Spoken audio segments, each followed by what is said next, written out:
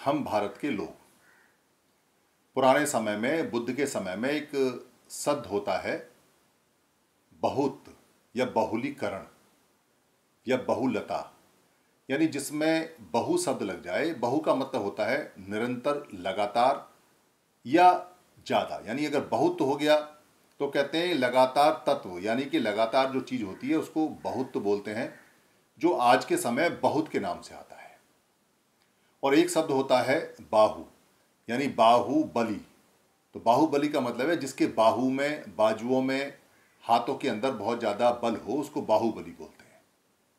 तो यहाँ जो हमारा मत है, जो बात हम कर रहे हैं, वो है बहु से, क्योंकि एक शब्द होता है बहुलीकरण, यानी कि लगातार करने वाला या लगातार जो अभ्यास करता है, जो निरंतर करता है फ्रिक्वेंटली करता है, या जिसको लगातार कोई चीज़ प्राप्त होती है, उसको बहुली शब्द से बोला जाता है। जैसे बुद्ध के एक, जब जहाँ वज्जी लोग इकट्ठे हुआ करते थे, उस समय साहित्य में आता है, बहुली सन्निपात। यानी कि जो सम्मेलन करते हैं, लगातार करते रहते हैं, बहुली सम्मेलन हो गया, बहुली सन्निपात हो गया, ऐसे वज्जी के लोग थे जिनको हराना बड़ा मुश्किल था क्योंकि वो लगातार सम्मेलन करते रहते थे, लगातार मिलते रहते थे। तो ये जो बहुलीकरण शब्द है, ये तब ज़्यादा इस्तेमाल होता है जब हम बुद्ध के चार लगातार उन गुणों की बात करते हैं, जो किसी बुद्ध में लगातार रहते हैं जो लगातार अभ्यास में आते हैं, और निरंतर रहते हैं, और बहु रहते हैं, यानी कि ज़्यादा मात्रा में रहते हैं। उनमें एक आता है करुणा। करुणा यानी कंपैसन पिटी यानी दया। एक आता है मुदिता, यानी कि एक हैप्पीनेस है, एक ऐसी हैप्पीनेस है जो दिखाई नहीं देती, जो पूरे शरीर में काम करती है। यानी चेहरे पे मुस्कुराहट नहीं आएगी, ना खिलखिलाहट वाली हँसी आएगी मगर वो पूरा शरीर प्रसन्न मुद्दा में रहता है, प्रसन्न रहता है, उसको मुदिता बोलते हैं, यानी मोद में रहता है। आमोद, प्रमोद आप जानते होंगे, उस मोद में रहता है लगातार चौबीस घंटे, उसको मुदिता बोलते हैं। एक होता है उपेक्षा। उपेक्षा को उपेक्षा भी बोलते हैं या समता भी बोलते हैं, जो इकोनॉमिटी में रहता है। यानी कि ऐसा व्यक्ति जो जिसको ना राग परेशान करता है, राग का मतलब है कोई चीज़ चाहिए चाहिए चाहिए जैसे अमीरी चाहिए खाना चाहिए बढ़िया या स्त्री चाहिए या पुरुष चाहिए या पैसा चाहिए या प्रसिद्धि चाहिए या मान भाव चाहिए यानी जिसको चाहिए चाहिए का गुण नहीं है जिसके अंदर या ऐसा जिसमें देश नहीं है। देश मतलब दोष नहीं है यानी उसको नहीं चाहिए। गरीबी नहीं चाहिए भुखमरी नहीं, नहीं चाहिए या जो उसको कोई कष्ट नहीं चाहिए बीमारी नहीं चाहिए बुढ़ापा नहीं चाहिए लंबी उम्र जो उसकी मृत्यु है वो नहीं चाहिए। ये सारी की सारी चीज़ें जो उसको नहीं चाहिए ये आती हैं देश के अंदर। और तीसरा गुण है मोह मूर्ता का, यानी कभी चाहिए, कभी नहीं चाहिए, उसको मोह मूर्ता बोले। तो ये जो लोग उससे परे हो जाते हैं, उनमें जो गुण आता है, उसको बोलते हैं समता का, उपेक्षा का, और एक होता है मैत्ता। यानी मैत्ता जो होता है, वो एक तरह से फ्रेंडशिप नहीं है। मैत्ता का मतलब है कि सबके प्रति एक ऐसा भाव रखना, जो भाव बिल्कुल आपस में घुलने मिलने का है, और जो भाव अच्छी फीलिंग लेके आता है उसको बोलते हैं मैत्ता। बोलते हैं तो ये सारा का सारा जो गुण है, मैत्ता का या समता का या उपेक्षा का या करुणा का, ये सारे के सारे गुण किसी व्यक्ति में विद्यमान रहते हैं, होते हैं। जो लोग विपसना करते हैं, साधना करते हैं, या जो बुद्ध की बात को मानते हैं, उनमें बाकी गुण खत्म होते चले जाते हैं, जो उनके द्वेष के होते हैं, राग के होते हैं, लालच के, क्रोध के, अग्नि के, ये सारे के सारी जितनी बुराइयाँ हैं या जितने राग हैं वो सारे खत्म होते जाते हैं और ये गुण बचते हैं तो ये गुण अनंत हो जाते हैं। यानी कि जब वही गुण रहते हैं तो बढ़ जाते हैं। तो बुद्ध कोई जब बनता है तो उसके सारे चीज़ें खत्म हो जाती हैं, सिर्फ़ ये चार चीज़ें बचती हैं, जो हमेशा एक बुद्ध में विद्यमान रहती हैं। ये गुण उसके अपने निजी गुण होते हैं। इन निजी गुणों का किसी और व्यक्ति से कोई लेना देना नहीं है। ये हर एक में होते हैं और ये बड़ी आसानी से प्राप्त किए जा सकते हैं।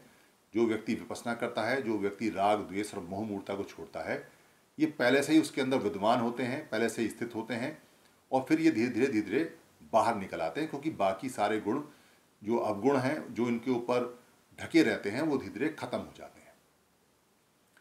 यहाँ हम विदा पीपल में इस बात का ज़िक्र इसलिए कर रहे हैं कि विदा पीपल में सब तरह के लोग आते हैं। और ज़ाहिर सी बात है कि अम्बेडकरवादी जो लोग हैं, वो ज़्यादा आते हैं और अम्बेडकरवादी लोगों में भी जो बुद्धवादी लोग हैं और जिन्होंने विपसना की है, वो लोग भी आते हैं।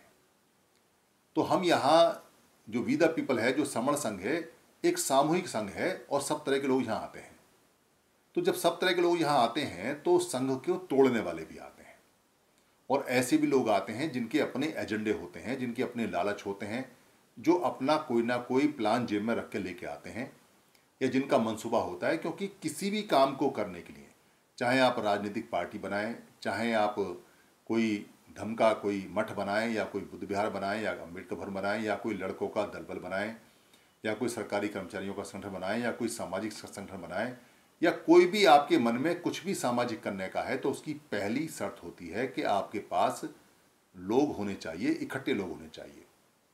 तो यहाँ विदा पीपल में काफ़ी लोग इकट्ठे हो चुके हैं और ये एक ओपन प्लेटफॉर्म है, यानी कि कोई भी इसकी वर्चुअल मीटिंग में आ सकता है जूम की मीटिंग में कोई भी आ सकता है ओपन इन्विटेशन जाता है, किसी भी तरह का व्यक्ति आ सकता है।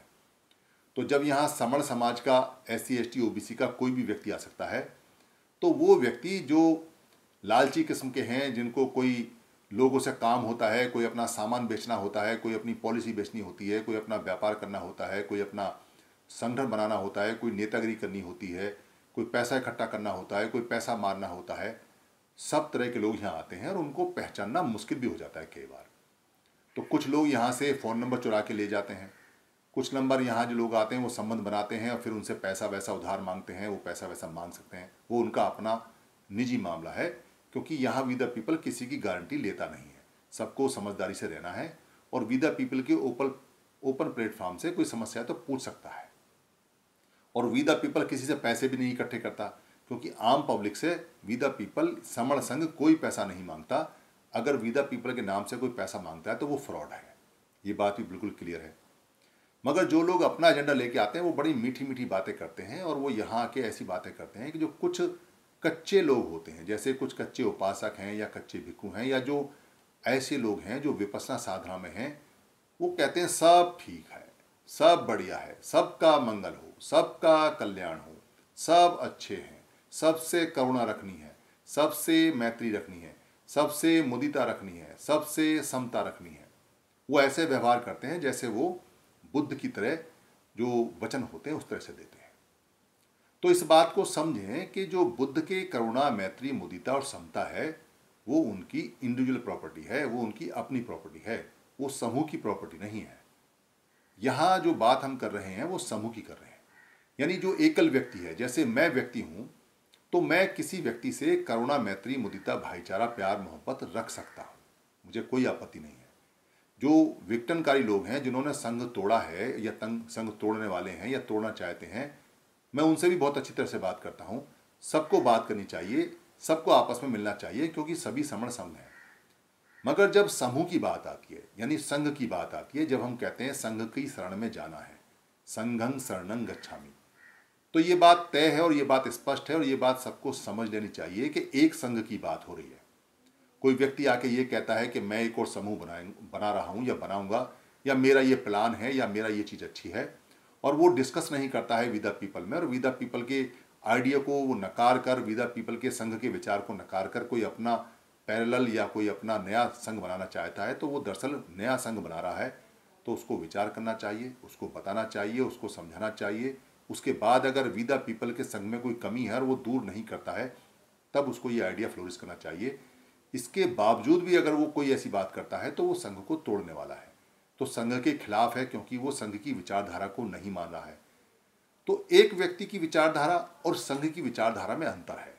जब हम कहते हैं, इस व्यक्ति को करुणा है, मुदिता हो, इसकी कल्याण हो, इसका मंगल हो तो हम अपना इंडिविजुअल विचार देते हैं, अपना पर्सनल विचार देते हैं उसको।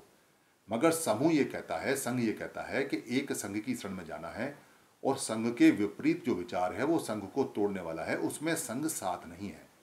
यानी मेरा विचार व्यक्तिगत रूप से किसी व्यक्ति के लिए अलग है और जब संघ में आ कोई बात करेगा तो वो विचार अलग है। तो यहाँ विदा पीपल के जितने लोग हैं, उनको ये समझ लेना चाहिए कि जब वो मीटिंग में बैठें, जब वो समूह में बैठें, जब वो परिषद में बैठें, जब वो गण में बैठें तो वो गण के व्यक्ति हो जाते हैं, वो समूह के व्यक्ति हो जाते हैं, वो संघ के व्यक्ति हो जाते हैं, उनका अपना निजी विचार यहाँ नहीं चलता और वो चलेगा भी नहीं। क्योंकि बुद्ध के पर्सनल नियम अलग थे, भिक्खुओं के अपने पर्सनल नियम अलग थे, वो उनके इंडिविजुअल नियम थे कि वो क्या करते हैं। मगर जब संघ के नियम हैं, वो अलग हैं। व्यक्ति का एक का नियम अलग होता है और व्यक्तियों के समूह के नियम अलग होते हैं। व्यक्ति स्वतंत्र होता है, कैसे काम करेगा, कैसे नहीं करेगा, मगर समूह जब बैठता है तो उसका एक विचार होता है, एक उसका निर्णय होता है और सबको वो निर्णय मानना होता है अगर वो बहुमत से पास है। और वो उन्हें मानना ही होगा, तब वो सदस्य, समूह का सदस्य है, संघ का सदस्य है। अगर वो व्यक्ति उस सामूहिक निर्णय को नहीं मानता है तो वो संघ की अवहेलना करता है और संघ इसका परिणाम दंड के रूप में देता है, ऐसा नियम होता है। तो यहाँ जो व्यक्ति हैं, क्योंकि संघवाद को भूल चुके हैं और व्यक्तिवाद को जानते हैं तो वो व्यक्तिवाद को और संघवाद को मिक्स कर देते हैं आपस में। वो कहीं व्यक्तिवाद का इस्तेमाल संघवाद के लिए करते हैं और कहीं संघवाद का इस्तेमाल व्यक्तिवाद के लिए करते हैं। उनको खुद ही नहीं पता रहता कि वो जो स्टेटमेंट दे रहे हैं, वो जो बात कर रहे हैं, वो व्यक्ति पे आधारित है या संघ पे आधारित है? वो संघ के लिए हानिकारक है या संघ के लिए फ़ायदेमंद है? या व्यक्ति के लिए हानिकारक है या व्यक्ति के लिए फ़ायदे है, फ़ायदेमंद है? इसको बारीकी से समझें और इसको बारीकी से एनालिसिस करें। जैसे कोई व्यक्ति संघ तोड़ के चला गया तो मैं उसको फ़ोन करता हूँ इंडिविजुअल कैपेसिटी में, मैं उसका हाल पूछता हूँ, चाल पूछता हूँ, क्या करता है, क्या नहीं करता, क्योंकि वो समण है और समण समण में कोई घृणा तो है नहीं। तो मेरे पास भी करुणा है, दया है, मुदिता है, मैं विपसना करता हूँ, साधना करता हूँ तो मैं उनसे हंस के बोलता हूँ बोलता हूँ। मगर वो व्यक्ति अगर ये कहे कि आज सुधीर राज सिंह ने हंस के मुझसे बात की है और सुधीर राज सिंह ने ऐसे बात की है और अब मैं संघ में जो मैंने पाप किया है या संघ दोष किया है या संघा जो आदेश मुझे देना चाहिए, संघादी, देश है या जो नियम है उनको इग्नोर करके अब मैं संघ में आना चाहता हूँ तो मैं संघ का एक व्यक्ति हूँ। मैं बात तो कर सकता हूँ, मगर संघ उसको माफ़ करेगा, नहीं करेगा। संघ प्रायश्चित कर, उसको करने का मौका देता है, नहीं देता है, या वो संघ में आके अपना प्रायश्चित करता है या नहीं करता है, या संघ के जो आदेश हैं उसको मानता, नहीं मानता है, ये संघ डिसाइड करेगा। इसको सुधीर राज सिंह डिसाइड नहीं कर सकता। इसलिए मैं सबसे बात कर सकता हूँ, सब मुझसे बात बात कर सकते हैं, मगर जो संघ का तोड़क है, जो संघ के नियम को तोड़ के गया है वो तब बात करेगा जब संघ उसको अपने हिसाब से आदेश देगा, जब संघ में वो आएगा और संघ के सामने हाजिर होगा। यही संघ की ताकत है, यही संघ में चलता है। आपको याद होगा, मनमोहन सिंह प्रधानमंत्री थे और उन्होंने संघ के खिलाफ जो सिख संघ है, उसके खिलाफ में कोई बात कही। सिंह जो सिख संघ है, उसने एक आदेश पारित किया और उनको सजा दी और वो सजा गुरुद्वारे में जूते साफ़ करने की थी। प्रधानमंत्री मनमोहन सिंह ने जूते साफ़ किए। तब वो सिख संघ में वापस आए। बुद्ध के यहाँ भी हर पंद्रह दिन में एक पूरा का पूरा जो लगता था, जिसको पाति मुख बोलते थे, यानी कि मुख के प्राप्त करने के जो प्रति नियम थे, जो विरोधी नियम थे, जिसने तोड़े हैं, उनकी पाथी मुख की एक सभा होती थी। उस सभा में जिसने नियम तोड़े हैं, उसमें दंड होते थे। छोटा दंड, बड़ा दंड, उससे बड़ा उससे बड़ा, सबसे बड़ा दंड। अलग अलग उसके नाम हैं। तो वहाँ भिक्खू अपना दोष बताते थे, वो दोष को सभा सुनती थी, भिक्खुओं की। वहाँ वो एक्सेप्ट करते थे, फिर उसको दंड बताया जाता था, उस दंड का पालन करता था और फिर वो संघ में शामिल होता था। ऐसे ही उपासकों के भी नियम हैं, क्योंकि हम भिक्कू तो हैं नहीं, मगर हम भिक्खु और उपासक के बीच में हैं। यानी हम काम भिक्खु का कर रहे हैं, मगर हम ग्रस्त में रहते हैं।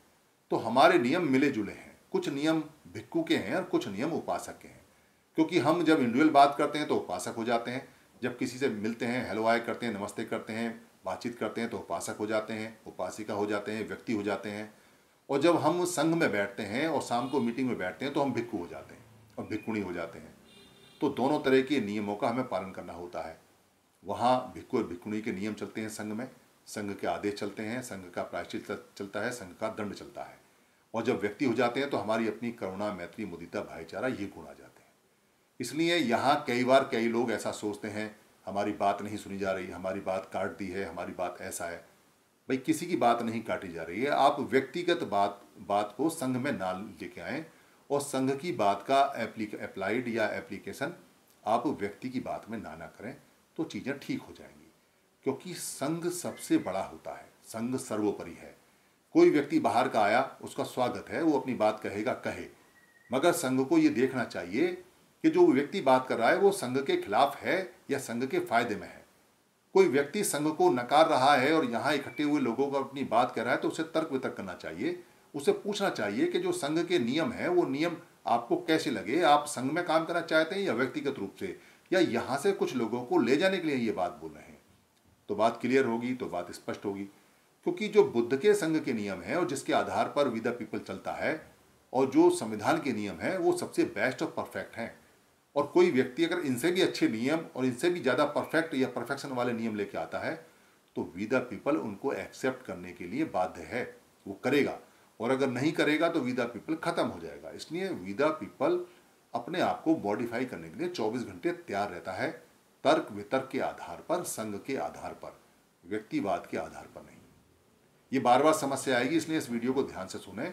और जिस किसी व्यक्ति को ऐसा लगता है कि व्यक्ति के नियम संघ में चलेंगे और संघ के व्यक्ति में चलेंगे तो वो अच्छी तरह से चिंतन करे, या साथी को पूछ ले, या किसी साथी से जानकारी ले ले तो उसमें संघ का भी भला रहेगा, उस व्यक्ति का भी रहेगा, और हम तेज़ी से अपनी समस्याओं को हल कर पाएँगे, और जिस सुख की कामना के लिए, जिस सुख के लिए हम फाइट कर रहे हैं, वो सुख सबको मिलेगा। ऐसा जल्दी होगा, ऐसी मंगल कामना के साथ, धन्यवाद।